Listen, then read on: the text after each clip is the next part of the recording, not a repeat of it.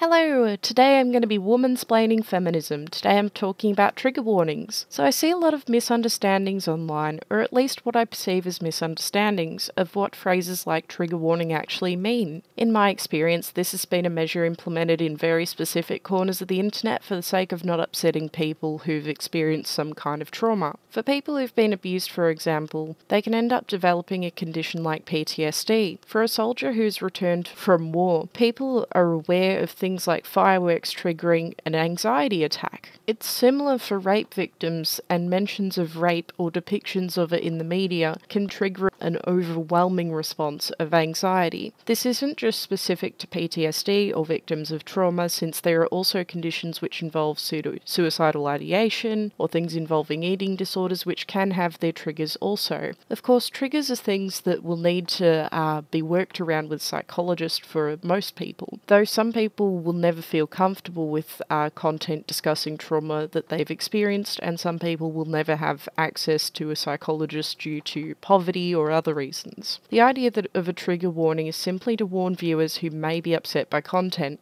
it's used no differently to viewer discretion warnings on the television. The only difference is that it's a lot more specific what the trigger will potentially be. Triggers refer specifically to feelings associated with trauma, sometimes feelings that are triggered in relation to mental illness. I used to see trigger warning food on posts and wonder why that was there. As it turns out, that is there so people with eating disorders who are triggered by images of food can avoid content that upsets them. This is not to suggest that everyone online absolutely absolutely must use a trigger warning or is a bad person, but it's a considerate action to take if you know that somebody has a mental illness or has experienced trauma and they're on your friends list on Facebook, for example, and it's just being considerate where possible. Um, as someone with a basic understanding of human psychology, I do know that some triggers people have will be incredibly hard to account for, and to the point it would, it would likely be too difficult for others to accommodate for these needs. For example, if I were beaten as a child repeatedly while brushing my teeth, it is possible that toothpaste could trigger an anxiety attack in relation to that abuse. Of course, that is a very specific trigger as an example, so it's unlikely that others will be able to accommodate for that without knowing the situation. However, triggers that can be accounted for can be things like the subject of rape in general or abuse as well, and for these ones, that's where you'll often see trigger warnings. I personally am of the opinion that with regards to things like eating disorders, abuse, mental conditions, and anything that can be a trigger for people, if we can take small measures to reduce the pain experienced by people in these groups, it's a kind and considerate thing to do.